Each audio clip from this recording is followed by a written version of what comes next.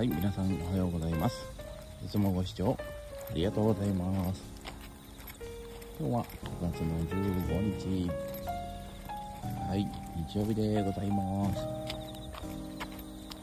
はい。まずはね、伊豆カリン地方のね、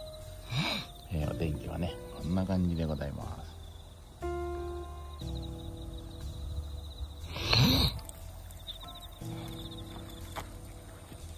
はい、今日のね、天気天気予報はね、はい、えー、降水確率がね、80%でね、雨の予報なので、はい、今はね、えー、ちょうどね、降っていない時にね、お散歩をしております。はい、多分ね、これから雨が、えーかなりの確率でね、多分降るんじゃないかなと思いますので、ね、今のうちにね、ちょっとお散歩行きたいと思います。はい、えー、改めましてね、伊豆かりんでございます。はい。えーやっぱりね、9月に入ってね、ほんと、もう本当暑くなったり、えー涼しくなったりとね、あれですが、はい、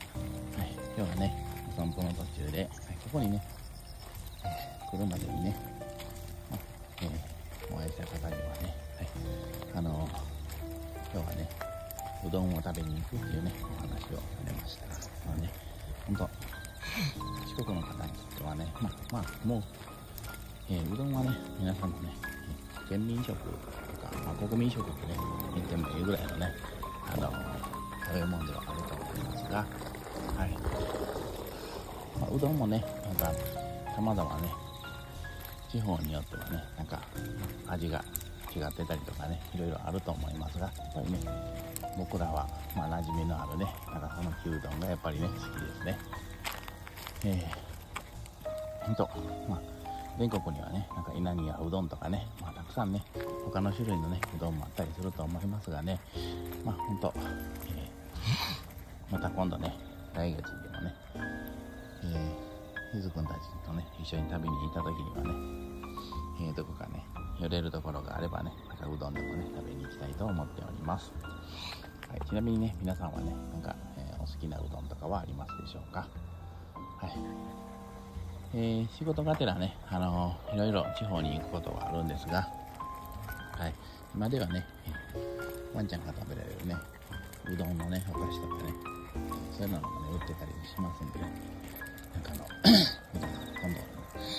来月食べに行った時にはね、そこに、えー買い物してね、なんかゆずくんたちにもね、あげてみたいとまたね、思います。はい。まあそんなこんなでね、まあ、本当また今日もね、一日天候悪いと思いますが、えー、またゆずくんたちとね、まったりとした時間をね、過ごしたいと思います。はい、ということでね、えー、早朝よりね、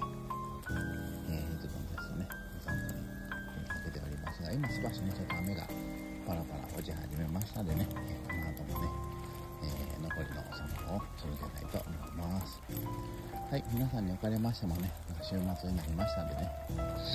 はい、えー、有意義なね、時間をお過ごしいただいてですね、えー、またね、お体にお気をつけになってお過ごしください。はい、またね、えー、チャンネル登録、また、いいね、コメントなどね、お待ちしておりますのでね、またどうかよろしくお願いします。ではね、また明日お会いできればと思います。またね、最後にね、えー、ま仕事がてらね、まあ本当に地方にいた時にね、えーまあ、昨日のことですがね、可愛いね、子猫ちゃんがね、えー生まれたての子猫ちゃんがね、えー とえー道端にね、いましたんでね、